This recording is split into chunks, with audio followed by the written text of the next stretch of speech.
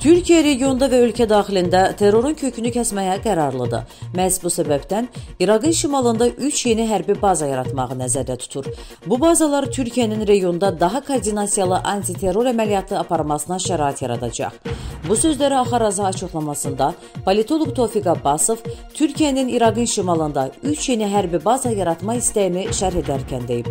O bildirib ki, koronavirus pandemiyası bütün sahələrdə olduğu kimi siyasi və hərbi sferada da ciddi boşluqlar yaradıb. Xüsusilə yaxın şərqdə aparılan antiterror əməliyyatları bu səbəbdən dayandırılmışdı. Bu vəziyyət isə regionda radikal terror qruplaşmalarının yenidən aktivləşməsinə şərait yaradıb. Təbii ki, bu hal ən çox Türkiyəni narahat edirdi. Çünki Türkiyə uzun illərdir həm ölkənin şərq vilayətlərində, həm də İraqın və Suriyanın şimalında antiterror əməliyyatları aparır.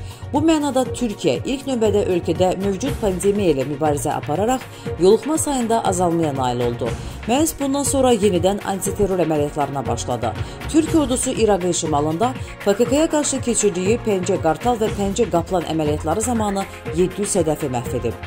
Politoloq qeyd edib ki, Türkiyənin İraqın şimalında 3 hərbi baza yaratması region ölkələri və Qərbin təqdiri ilə qarşılanıb. Türkiyə İraqın şimalında 3 hərbi baza yaratmaqla bağlı artıq rəsmi Bağdadla razılığa gəlib. Qərb ölkələri mövcud pandemiya dövründə regionda sabitliyin, sülhün bərqərar olmasını istəyirlər.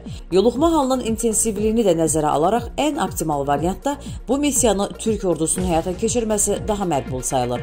Digər tərəfdən regionda İran da başda olmaqla bir çox ölkələr Türkiyənin İraqın şimalında hərbi baza yaratmasının lehinədir.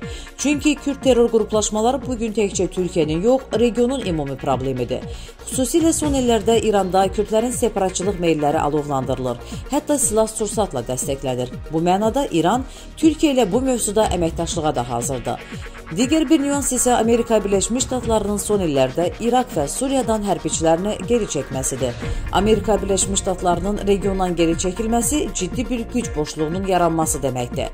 Türkiyə mövcud vəziyyəti nəzərə alaraq bu boşluğu doldurmağa çalışır. Əziz izləyicilər, əgər kanalımıza abunə olmamısınızsa, videonun aşağısındakı abunə ol düyməsini və zınqrov işarəsini basın. Videonu bəyənməyiniz və şərh yazmağınız bizim üçün önəmlidir.